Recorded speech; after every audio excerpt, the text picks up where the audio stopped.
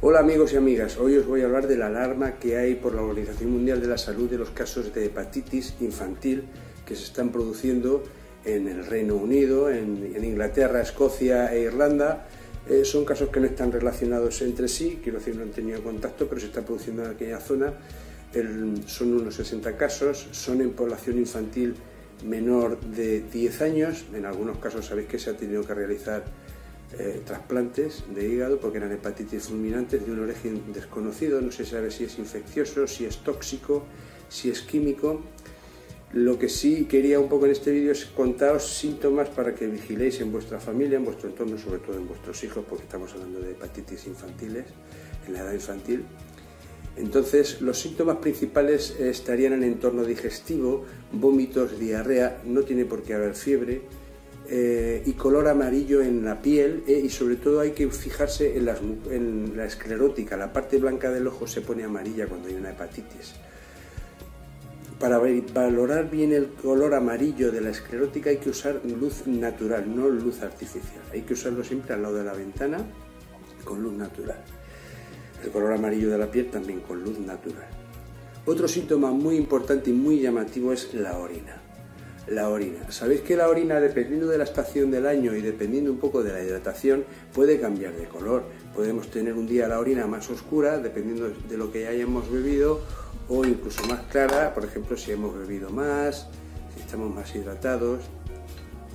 Pero el color de la orina de la hepatitis es este color. Es un color como, eh, hay que se ve bien, como la Coca-Cola. Es un color Coca-Cola, color muy oscuro. No es una orina así oscura de cuando se ha bebido poca agua. ¿no? Es un color ya a cualquiera le llama la atención, porque es una orina que no es normal, es color Coca-Cola.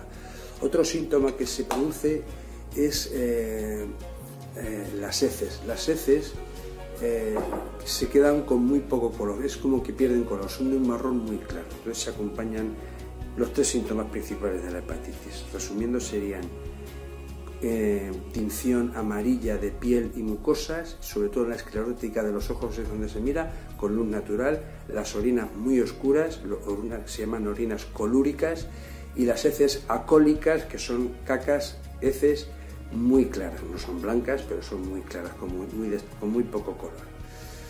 Mm, ¿Qué os podía decir? ¿Qué os podía aconsejar? Pues vigilar, no os asustéis, en España no hay alarma, pero estamos todos vigilando eh, y poned mucha intención y mucho interés con vuestros hijos y vosotros en la higiene de manos.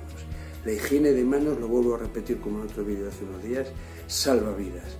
En este caso, ahora mismo la única herramienta que podríamos tener sería la higiene de manos, lavarse las manos en especial antes de todas las comidas, tener mucho cuidado, tener las manos muy, limpias, con agua, jabón, con gel hidroalcohólico, usarlo. La higiene de manos debe ser eh, el, consejo, el truco que os voy a dar hoy, que quiero que pongáis mucha atención y que estéis muy pendientes. También después de haber estado con mascotas, perros, gatos, hay que lavarse las manos. Porque luego con las manos nos las llevamos a la cara, a la nariz, nos hacemos una pildorita, nos tocamos el ojo, nos tocamos la boca, nos comemos una cosa antes de comer.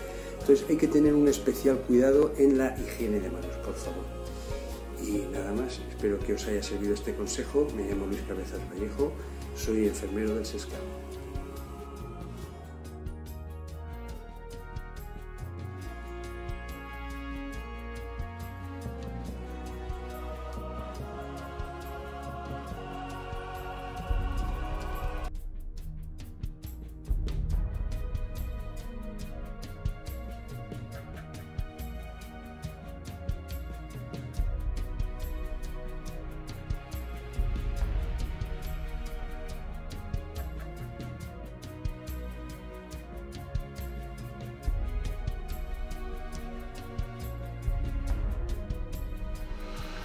Suscríbete a nuestro canal de YouTube, síguenos en Facebook, Twitter, Vox e Instagram.